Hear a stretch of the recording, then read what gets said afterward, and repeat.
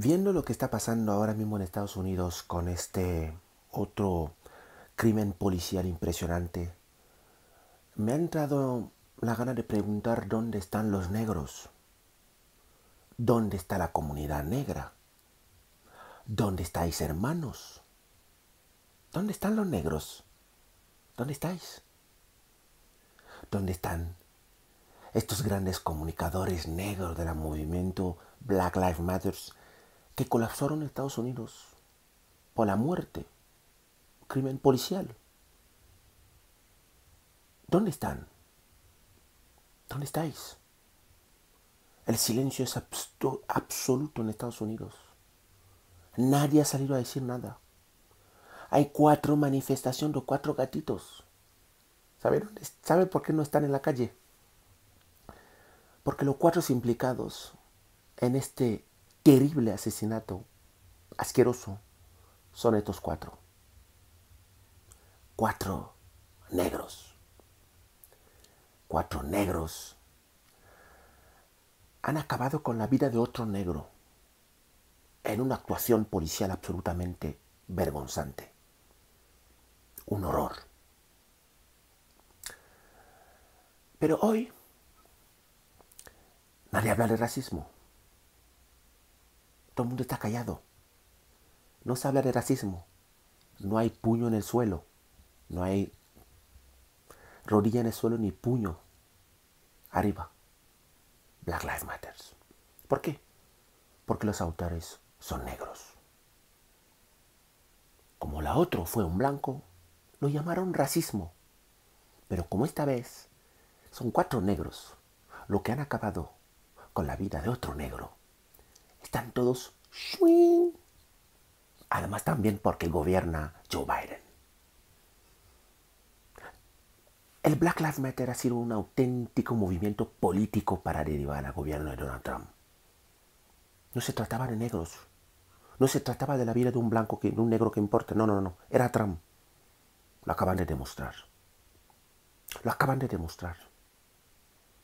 Lo acaban de demostrar. Es vergonzoso. Es que no hay racismo ahora.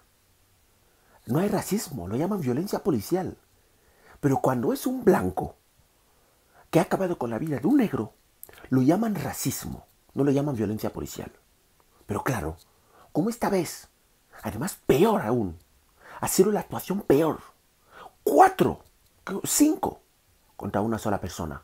Las imágenes son lamentables, brutales, son más indignantes que lo que ocurrió con aquel señor.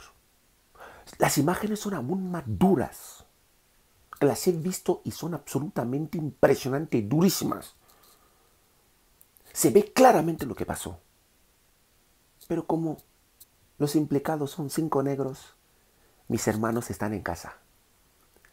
Como los implicados de este terrible crimen policial son nuestros hermanos negros, pues los negros están en casa. Los negros estamos en casa. No podemos manifestarnos. Ya no es racismo. Lo llaman violencia policial. ¿Por qué? Porque son cinco negros los que han acabado con la vida de otro negro en una actuación policial otra vez, una vez más, violenta. Ahí lo tenéis.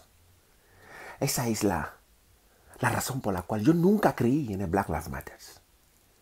Otra utilización de esta piel para fines políticos. Otra utilización de nuestra raza para llegar a fines políticos. Y eso es así. Eso es así. Todos están en casa.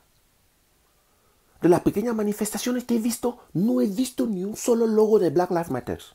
No se hace referencia a Black Lives Matter en ninguna de las pequeñas cuatro manifestaciones que he visto. La vida del negro ha dejado de importar, porque son los negros los que han acabado con la vida de otro negro. La vida del negro ya no importa. Amigo mío, nuestra raza, señores. De verdad, tenemos que hacernoslo mirar. El movimiento John Lives Matter, animado por cabezas socialistas que han utilizado a nuestra raza como una vez más. Es lo que hace siempre la izquierda, utilizarnos, utilizarnos a los negros para llegar a sus fines políticos. Utilizarnos, convertirnos en víctimas, convertirnos en su chiringuito de pobrecitos, pobrecitos. Es que lo que te pasa, amigo mío, es porque eres negro. Es que lo que te está ocurriendo, esto que te ha hecho el hombre blanco, te lo ha hecho simplemente porque eres negro. Y crean el relato, crean el nombre de chiringuito, montan las manifestaciones y nosotros detrás como boregos. Y nosotros detrás como boregos. La izquierda siempre utilizando nuestra raza para llegar al poder. Black Lives Matter fue totalmente orquestado, montado por un chiriguito de extrema izquierda para acabar con el gobierno, con el gobierno, repito,